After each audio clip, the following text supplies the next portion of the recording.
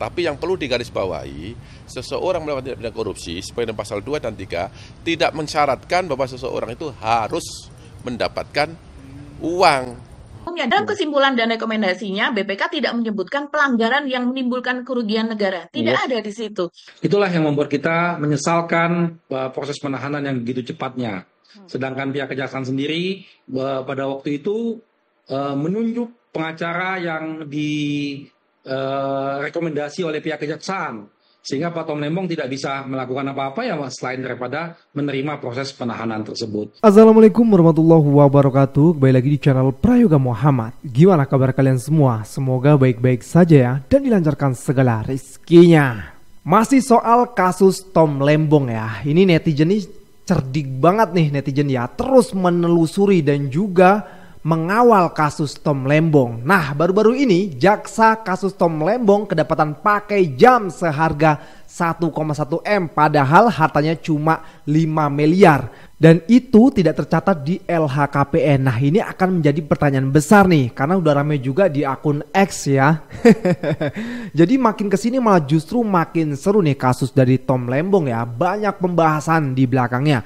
Belum lagi statement dari Abdul Kohar ya yang mengatakan kata kejagung soal Tom Lembong atas dugaan korupsi tersangka tak harus dapat aliran dana. Nah ini menjadi pembicaraan juga oleh masyarakat luas ya. Dan juga teman-teman semua ada fakta terbaru ya kuota impor yang menjerat Tom Lembong ternyata alokasi untuk koperasi Inkopol dan Kartika milik TNI Polri. Laporan BPK tidak ada kerugian negara dan tidak ada bukti aliran dana ke Tom Lembong. Gimana nih kejagung? Nah ini menjadi pertanyaan yang besar. Ini sudah dibicarakan di podcastnya Bung Hersebena Arif ya. Nanti kita lihat cuplikannya saja. Coba sekarang kita berpikir bersih ya. Bagaimana jika ada sebuah lembaga yang menangani kasus koruptor sementara di lembaga tersebut masih ada indikasi kotor. Seperti halnya jam tersebut yang lagi viral. Kan harusnya ini juga harus diusut nih. Kan makin panjang kan akhirnya. Di sini fakta-fakta terbaru akan terungkap guys. Netizen yang terus mengejar. Oke, kita lihat dulu videonya. Penyidikan ini untuk tersangka yang kemarin baru dua hari, ya kan? Itu sedang kita dalami. Tapi yang perlu digarisbawahi, seseorang melakukan tindak pidana korupsi sesuai dengan pasal 2 dan 3 tidak mensyaratkan bahwa seseorang itu harus mendapatkan uang. Ketika perbuatan dia melawan hukum, ketika perbuatan dia menyalahgunakan kewenangan, kesempatan karena jabatan keduanya ada padanya yang dapat menguntungkan orang lain, toh, atau menguntungkan korporasi, maka dapat dimintai pertanggungjawaban secara hukum. Jelas? Pak, tapi di mana-mana Pak, yang namanya korupsi itu ujung-ujungnya uang Pak. Kalau yang korupsi ini nggak dapat apa-apa, yang ngapain gitu loh? Kalau hanya menguntungkan temannya atau anggotanya dan lain sebagainya, ya buat apa gitu loh? Tetap ujung-ujungnya itu uang, ujung-ujungnya untuk kepentingan pribadi. Ini banyak nih akhirnya yang berkomentar nih. Nah di video selanjutnya ini ya teman-teman semua, ada ungkapan dari Pak Hari Hamzah, pengacara Tom Lembong ya, yang mengatakan sesuatu yang perlu kita tahu juga. Kita lihat videonya. Kalau mungkin bisa kasih gambaran sedikit saja secara sederhana nih kronologi uh, penetapan tersangka sejak mulai dari uh, pemeriksaan seperti apa dan apakah tim kuasa hukum melihat ada yang janggal, uh, Mas Ari? Ya, Pak Tom Lembong ini sudah empat kali diperiksa ya sebagai saksi dan beliau hadir tepat waktu sesuai dengan undangan dari pihak kejaksaan. Beliau telah menjelaskan dengan tuntas, terang, dan jelas dalam setiap pemeriksaan. Namun beliau tidak didampingin pengacara pada saat itu.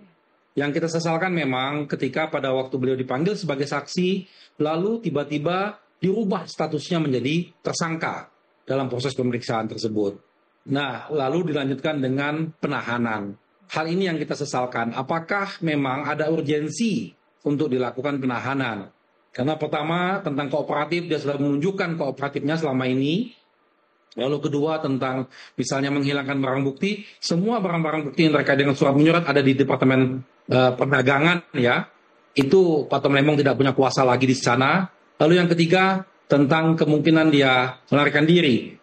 Pak Tom Lembong statusnya sangat jelas dan sangat mudah dipanggil, jadi tidak ada dasar untuk itu. Itulah yang membuat kita menyesalkan uh, proses penahanan yang begitu cepatnya.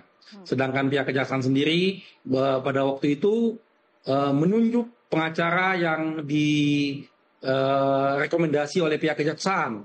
Sehingga Pak Tom Lembong tidak bisa melakukan apa-apa ya selain daripada menerima proses penahanan tersebut. Itu yang kita sesalkan Mbak. Baik, Mas Ari, tapi kalau kita melihat sejak penahanan Pak Tom cukup tenang ya dengan wajah selalu tersenyum. Apa yang dikatakan oleh uh, Tom Lembong kepada tim kuasa hukum? Ya, pertama sebelum penyidikan kami minta izin untuk bicara dengan Pak Tom Lembong sendiri dengan beliau. Beliau tegaskan, yakinlah saya tidak bermain-main terhadap kebijakan saya dan saya tidak ada keuntungan apa pun sekecil apa pun baik buat diri saya maupun orang lain terhadap kebijakan yang saya ambil. Semua proses betul-betul merupakan proses saya sebagai menteri yang harus saya lakukan. Jadi tidak ada yang saya khawatirkan, tidak ada yang saya takutkan. Itu yang disampaikan oleh Pak Tom. Baik. Wow, fakta terbaru lagi nih ya. Janggal banget ya. Untungnya saja sekarang Tom Lembong sudah didampingi oleh pengacara yang kita tahu lah ya. Beliau adalah salah satu tim kemenangan dari Panis Baswedan. Jadi insya Allah mantap. Nah teman-teman semua mengenai Bapak Abdul Kohar ya, jaksa kasus Tom Lembong yang kedapatan pakai jam mahal ini, nanti kita akan bedah ya teman-teman semua. Tapi di video selanjutnya ya, sekarang kita fokus dulu ke kasus dari Tom Lembong sendiri.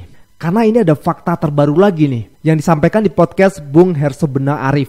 Kita lihat dulu cuplikannya. Ini ada data Mas Hersu, yaitu bahwa dari data ini kita bisa melihat bahwa impor yang dilakukan tersebut adalah karena permintaan dari koperasi Inkopol. Induk ah. Inkopol ini adalah induk koperasi polisi. Ada okay. permintaan dari Puskopol, Pusat hmm. Koperasi Polisi. Hmm. Koperasi Kartika ini uh, dari uh, Darat, apa, ya? TNI Angkatan Darat, hmm. betul. Dan lembaga uh, ini adalah lembaga-lembaga ekonomi dari uh, TNI dan polisi lah yang terbanyak malah polisi di sini Mas Hersu. Uh, perusahaan importir uh, gula kristal mentah dalam rangka menjaga ketersediaan dan stabilitas harga gula tahun 2016. Hmm. Perusahaannya bla bla bla bla begitu ya. Uh, uh, jumlahnya sekian dan pelaksana operasi pasar gulanya adalah Inkopol, Inkopol, Inkopol banyak sekali yang Inkopol. Kemudian Inkop Kartika, Inkop Kartika, SKKP TNI, Puskopol dan sebagainya ya. Saya rasa di sini uh, bisa dibaca oleh teman-teman semua.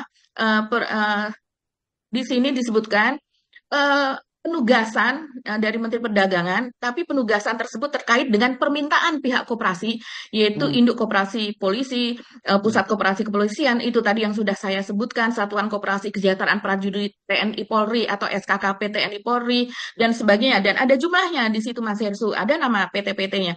Saya rasa juga ini yang membuat uh, Tom Lembong juga tersenyum Mas Hersu. Karena memang ada dasar. sebagai, sebagai anak kolong kita paham ya biasanya kooperasi-kooperasi begini ini penting banget karena ibu-ibu istri-istri prajurit itu bisa utang dulu di di di kooperasi-kooperasi ini nanti begitu suaminya gajian baru bisa dibayar. Jadi saya kira ya oh, ini bukan korupsi kalau yang namanya seperti ini gitu. Ini kan mensejahterakan para prajurit terutama TNI ya Mbak Mbak Agi ya bisa. Iya, sangat. Malah yang paling banyak ini polisi begitu oh, okay. ya. Ini ya, ya, ya, ya. dapur lah ya. Permintaan kita jumlah polisinya kan ada berapa ratus ribu dalam begitu jumlah TNI. Kemudian hmm. negara hanya bisa memberikan kesejahteraan sekian, apalagi kalau pangkat masih rendah.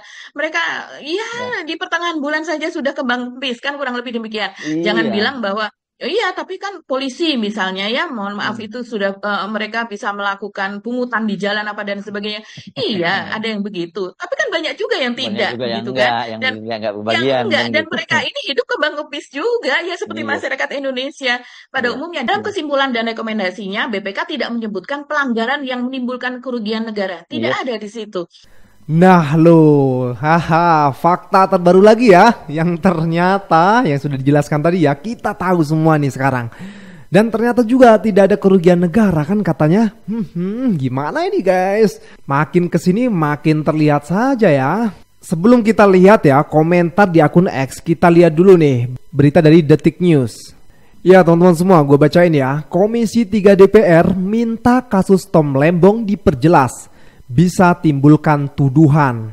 Kejaksaan Agung hendaknya jelaskan ke publik kasus dugaan tipikor tindakan pidana korupsi Tom Lembong, kata Habibur Rahman kepada wartawan. Nah sekarang gue bacain dari akun TikTok ini ya teman-teman semua. Jadi ini artinya bukan proksi Prabowo yang mempermainkan semuanya, tapi proksi RD. Gue nggak tahu sini siapa ya.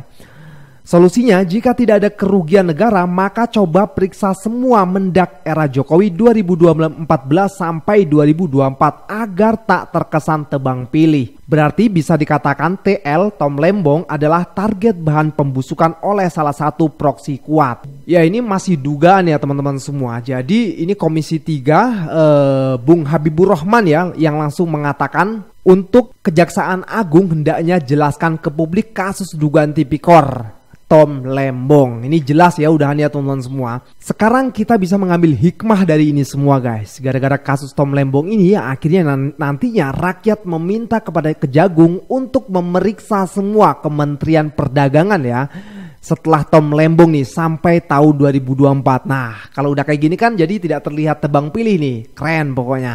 Nah, sekarang kita lihat dulu di akun X ya. Dari King Purwa. Yang jelas menerima aliran dana 400 miliar itu di antaranya Induk Koperasi Kepolisian Negara Republik Indonesia, Pusat Koperasi Kepolisian, Inkop Kartika, Satuan Koperasi Kesejahteraan Prajurit, SKKP, TNI Polri dan perusahaan TW namanya nggak boleh disebutin katanya ya. Nah ini yang tadi dijelaskan di podcast Bung Hersebono Arif ya yang kita dengar tadi. Coba kita lihat komen dari para netizen nih. Dari Beni K. Harman, luar biasa. Kita dukung Jaksa Agung untuk bongkar semuanya ini. Ya benar, kita dukung ya teman-teman semua. Coba dari Raden, WKWKWK, udah biarin aja dulu. He is an idiot. Pasti dia santai karena tahu hal seperti ini akan terjadi. Pasti sudah menyiapkan. Dari awal muncul kasus ini gue cuma ketawa-ketawa aja. Entah kenapa penangkapan beliau ini terasa lucu banget. Karena menurut gue justru ini bakal jadi buah si malakama ke depannya. Ngeri ya guys ya. Tapi karena ini kejadian 2015, maka yang akan bisa terkait ya sama pendahulunya. Siapa tuh? Dari Zeko ya, di balik kesulitan ada kemudahan. Kalau Tom, Lem, kalau Tom Lembong buka data ini di media dan pengadilan, maka akan ada banyak aparat pejabat bahkan mungkin presiden terdahulu yang keseret karena kasus ini ya. Ya mungkin ini teman-teman semua hikmah di balik ini semua. Kita para netizen tetap akan semangat mendukung kasus koruptor ini untuk segera ditindak yang koruptor untuk segera dihukum seberat-beratnya. Oke teman-teman semua, kita lanjut lagi ke videonya. Ya nggak harus ya. Poin pertama, karena setidaknya di sini sudah memenuhi unsur penyalahgunaan wewenang atau jabatan, unsur pembuatan melawan hukum karena tidak sesuai undang-undang, dan unsur menguntungkan diri sendiri dan atau orang lain. Poin kedua, Tom Lembong sebagai menteri memberikan izin ke 9 perusahaan swasta untuk mengolah GKM gula kristal mentah menjadi GKP gula kristal putih dan Charles Sitorus sebagai pihak dari BUMN yaitu PT PPI terlibat dalam perjanjian kerjasama dengan sembilan perusahaan swasta tersebut. Poin ketiga, setelah diolah menjadi GKP oleh perusahaan swasta tersebut dijual ke pasaran sehingga perusahaan swasta itu mendapat keuntungan senilai kurang lebih 400 miliar yang mana seharusnya itu menjadi keuntungan BUMN. Lain kalau GKP-nya dibeli oleh BUMN dan yang menjual ke pasaran adalah BUMN. Poin keempat, yang dilarang impor itu GKP alias yang boleh mengimpor GKP hanya BUMN. Dan seharusnya untuk pemenuhan stok gula yang diimpor adalah GKP-nya langsung. Nah, salahnya tem Tom Lembong adalah dia pakainya surat, bukan permendak. Dua, PPPI yang terlibat sebagai BUMN seharusnya membeli GKP dari 9 perusahaan swasta tersebut sebelum dijual ke pasaran. Nah, kan di sini sudah melibatkan BUMN yaitu PT PPI. Pertanyaannya adalah izin yang diberikan Tom Lembong itu sebatas mengolah atau menjual atau jangan-jangan sama kasusnya kayak dia tanda tangan tapi nggak baca. Gue nggak mau belain Tom Lembong karena ngapain juga temen gue bukan, bokap gue bukan, suami gue bukan, kalau dia salah, adili dia seadil-adilnya. Karena habis ini gue juga nungguin mendak-mendak lain untuk diusut kasus tentang impor gulanya. Jangan tutup mata ya, Tom Lembong itu impor gula sekitar 5 juta ton. Enggar Triastolo kita sebanyak 15 juta ton. Agus Suparmanto sebanyak 9,5 juta ton. Muhammad Lutfi 13 juta ton. Dan Zulkifli Hasan 18 juta ton. Kira-kira kenapa ya dari banyaknya mendak Jokowi yang impor gula, cuma Tom Lembong doang yang dipanggil ke Jagung. Padahal Jagung sendiri yang bilang bilang kalau kasus impor gula ini terjadi di tahun 2015 sampai 2023. Kalau gitu logikanya ambil keputusan setelah Tom Lembong juga terlibat dong. Kalian lihat data ini. Grafik konsumsi dan produksi gula dari 2015 sampai 2023. Grafiknya sama loh. Gak ada satupun tahun di mana produksi gula di negara kita itu melebihi jumlah konsumsinya. Jadi gue benar-benar pengen tahu apakah benar di tahun 2015 itu terjadi surplus gula. Terus kita lihat satu data lagi ya. Gue harap kalian gak tutup mata. Ini adalah grafik produksi dan impor gula di Indonesia dari tahun 2000 sampai 2023 kalian bisa fokus aja sama yang warna biru dan oranye. Di mana sejak tahun 2015 aja, impor gula itu selalu bertambah. Padahal kalau kita lihat produksinya tuh cenderung stabil. Katanya harusnya impor itu sesuai kebutuhan kan?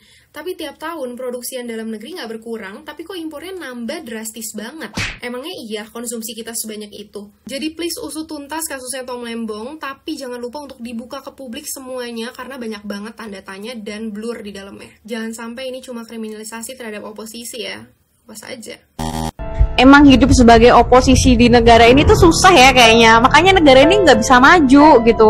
Jadi kalau emang negara ini satu tujuan nggak ada oposisi jadi sembarangan dong padahal kemarin tuh ada kasus loh dugaan jual beli izin tambang ilegal oleh Bahli Lahadalia. Dan kasusnya ini katanya udah masuk ke KPK tapi tiba-tiba karena si Bahli ini masuk dalam pemerintahan yang sekarang tiba-tiba kasus ini hilang. Padahal ini kasusnya ini udah ada di depan mata dan udah ada di lapangan, udah dibuktikan gitu. Terus sempet nih di 2022 sempet booming kasus korupsi minyak goreng sehingga minyak goreng itu harganya bisa melambung tinggi bahkan ada yang sampai 50 ribu 60 ribu gitu ya Terus ini bener-bener kejadian di lapangan banyak ibu-ibu yang udah pada ngantri gitu ya. Tapi ini si Erlangga berhubung dia gabung sama pemerintahan sekarang kasusnya adem-adem aja gitu ya. Padahal dia terseret loh di sini. Tapi tiba-tiba kasusnya hilang. Dianya masuk pemerintahan apalagi nih yang gak ada tanah IKN 190 tahun tambah merugikan negara. Tapi kagak ditangkep. Emang di negara ini tuh pokoknya oposisi itu bakal jadi masalah. Jadi kalau kalian pengen hidup dengan santai hidup dengan tenang gitu gabung aja pemerintahan sekarang gitu walaupun banyak penjilat di dalamnya. Kalau berbicara Tom Lembong menjadi tersangka karena kebijakan yang merugikan negara, seharusnya seluruh kebijakan yang merugikan negara juga harus diperiksa, juga harus diaudit seperti proyek tol, bandara, IKN, food estate, kereta cepat yang sudah jelas-jelas merugikan negara. Dan masalah impor Tom Lembong, Tom Lembong mengimpor 5 juta ton gula dan masih banyak mendak-mendak yang lain mengimpor lebih dari jumlah yang diimpor oleh Tom Lembong seperti Enggar Tiasto yang mengimpor 15 juta ton gula dan seperti Agus Suparmanto yang mengimpor 9,5 ton gula. Rekor impor gula jatuh kepada Zulkifli Hasan yang di mana Zulkifli Hasan mengimpor 20 juta ton gula tapi tidak dipermasalahkan. Dan yang lucunya, Kejagung sudah membatasi kalau mereka tidak akan memanggil Zulkifli Hasan seperti ini. Iya, seperti ini kasus impor gula Kejagung pastikan tak akan panggil Mendak Zulkifli Hasan di kasus korupsi impor gula. Kok bisa jabatannya sama, wewenangnya sama, dan jumlahnya lebih banyak dia? Kok bisa? Kenapa Tom Lembong disebut melawan aturan? Karena adanya Kemendak nomor 18 tahun 2021 yang di mana ada larangan impor gula di dalamnya. Bukan yang menjadi dalil untuk menersangkakan Tom Lembong ini.